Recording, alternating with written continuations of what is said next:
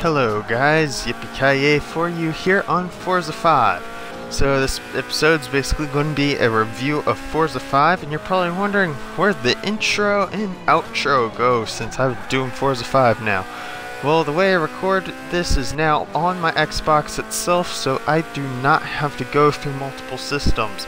It's just easier, and I determined that we don't need about a minute and a half or however long it is with um just extra footage of my logo and stuff, so who cares anymore.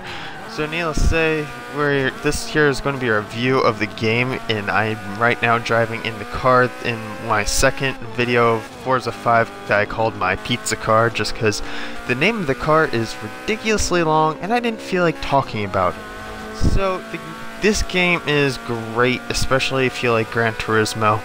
That, I'm pretty sure I said that once as well, but the graphics in it are fairly good. The cars are very accurate You'll see me later in this car change the view of my put of the driving and stuff. And I actually, just now when I was doing this, caught myself, I'm like, oh my gosh, it's a right-hand drive. Because in the US we have left-hand drives, and this car was manufactured in Japan. That's like most Toyotas, they're not all manufactured in Japan, but this one was sold in Japan a lot of times for racing. And I just caught that it was a right hand drive so I was like hmm never knew that. But needless to say this game is great. All the tracks are actual tracks that I'm aware of.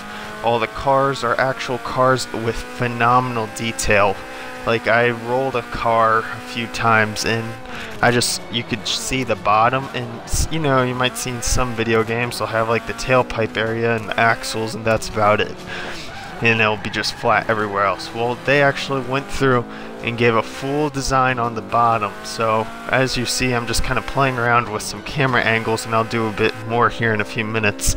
Yep, never mind, not in a few minutes right now. I, I'm talking after I played the game just because I can't talk and play the game at once or else I wreck and crash and no, not a whole lot of fun.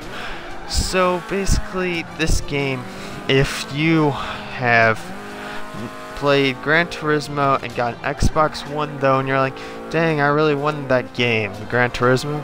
Well, I recommend you getting this game. It's very similar. It's basically the Microsoft version instead of the PlayStation version.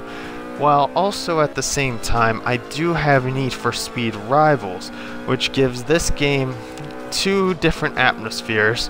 This game is more in-track racing, and Need for Speed Rivals is open road. So, depends how you like to play. If you like just being able to do whatever, jumping off cliffs with your car and whatnot, then Need for Speed Rivals is the thing you should choose. But if you're somebody who likes track racing, this is the game for you. And if you go online, you can also do track races there and be online with other people. But Need for Speed, you're online no matter what, unless you're disconnected to the Wi-Fi and stuff. It took me a little while to figure out how to drift in this game. It is really different from Need for Speed. And um, if, in some cases I catch myself trying to do the Need for Speed drift and I'm like, oh crap, and it doesn't work. And then I have to remember what Grand Theft Auto drifting is as well, so you gotta know your different kind of drift. So if you play a lot of racing games, I recommend you kind of know how to drift in each game because it can save you a lot of time on these corners and actually in this game you can get points for drifting as long as you don't hit anything or go off the road. So I'm just gonna kind of keep doing these kind of videos guys for you and just show you some cool gameplay whether it be Forza or whether it be Battlefield 4 or Call of Duty Ghost, any of the games I have for the Xbox One. And if I can, I might try and do uh, some Xbox One, and since I had so far of a lead, we just finished in reverse. I didn't know if there was an achievement for it. Some games do. But remember, guys, to like and subscribe if you're on YouTube. Thank you, guys. Bye-bye.